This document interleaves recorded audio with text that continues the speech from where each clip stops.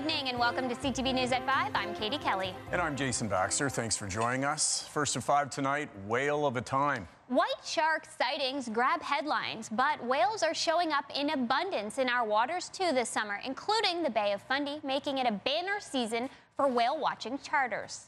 CTV's Nick Moore looks into why are we seeing so many cetaceans this summer. Nick? Well, good evening, Katie and Jay. We've been talking a lot about the extreme ocean temperatures being recorded right now, and that could be having an impact on where whales are going. Holy moly! Whales are putting on a show all around the Bay of Fundy, including here on New River Beach, New Brunswick on Monday, and across the bay too off Brier Island in Nova Scotia having fantastic sighting. So it's uh, it's been really good. Whales on every cruise, so we're very happy about that. There he is. oh my gosh.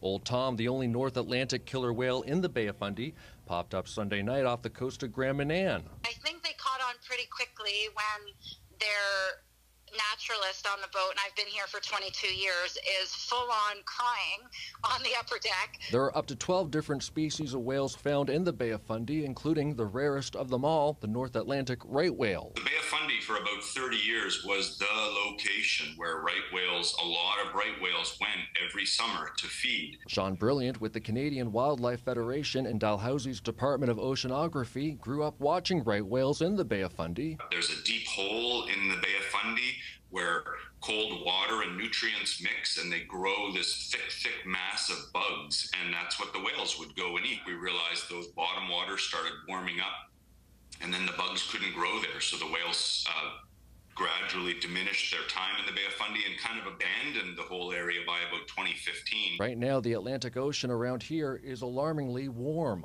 The only, I guess, maybe exception is where you are. Basically, the, the Bay of Fundy has such high tides that the water is always really well mixed, so they get a really small temperature anomaly. And that could be having an impact on whale movement. We're living in a very variable environment now.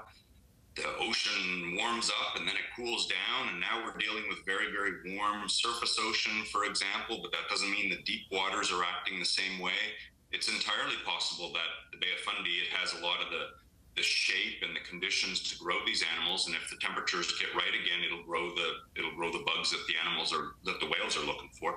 Now we have focused primarily on the bay of fundy here but of course we've been hearing about uh, whale appearances all across our region proving the point that while experts are sure of the destination of these whales how they get to where they're going has apparently become more variable year to year.